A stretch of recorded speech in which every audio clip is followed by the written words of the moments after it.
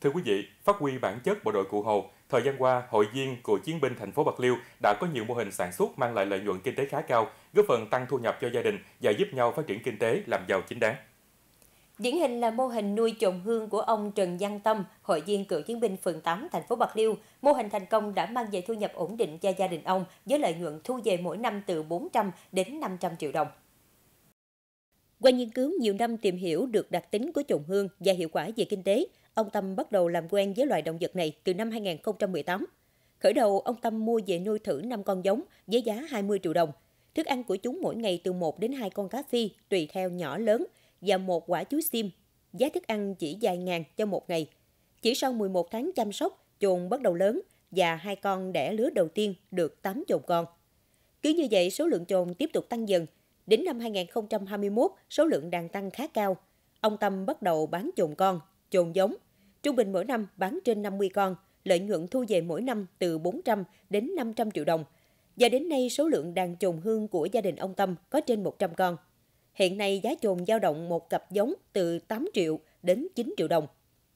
Trồn hương sinh sản quanh năm nhưng tập trung chủ yếu vào các tháng 10, 11, 12 hàng năm. Mỗi lứa đẻ từ 2 đến 4 con, rất phù hợp với vùng đất Bạc Liêu. Dễ nuôi nhưng mang lại giá trị kinh tế cao, tạo điều kiện cho hộ gia đình phát triển kinh tế rất thuận lợi thì thấy cái mô hình này hiệu quả quá nên, mình làm đóng nhiều chuồng để nuôi. Đó thì tôi có cái mô hình tôi nuôi thì à, hội cựu chiến binh tỉnh và hội cựu chiến binh thành phố đã biết được cái mô hình tôi nuôi. Rồi hội cựu chiến binh của thành phố có dẫn cái đoàn là của phường xã để đến đây tất cả các cựu chiến binh để đến đây để học hỏi mô hình và để mà coi nhân rộng ra cái mô hình nuôi trồng thì nếu mà các anh em có đến đây để mà nhân rộng mô hình thì tôi sẽ sẵn sàng giúp đỡ.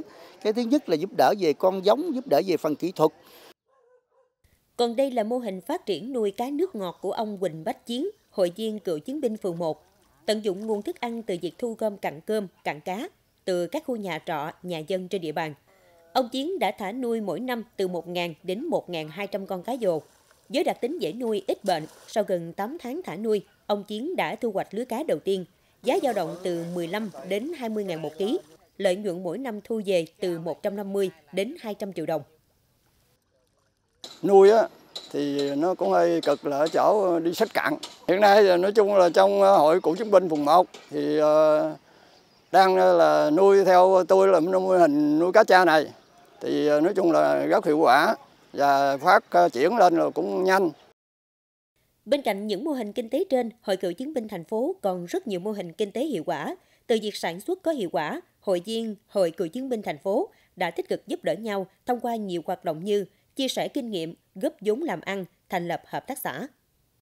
Thì chúng tôi là còn làm tốt cái công tác tuyên truyền, vận động cho là cán bộ, hội viên ý thức, nâng cao ý thức, tự lực, tự cường, phấn đấu vươn lên để mà làm giàu chính đáng, để giúp nhau là là là, là thoát nghèo, ổn định được cuộc sống.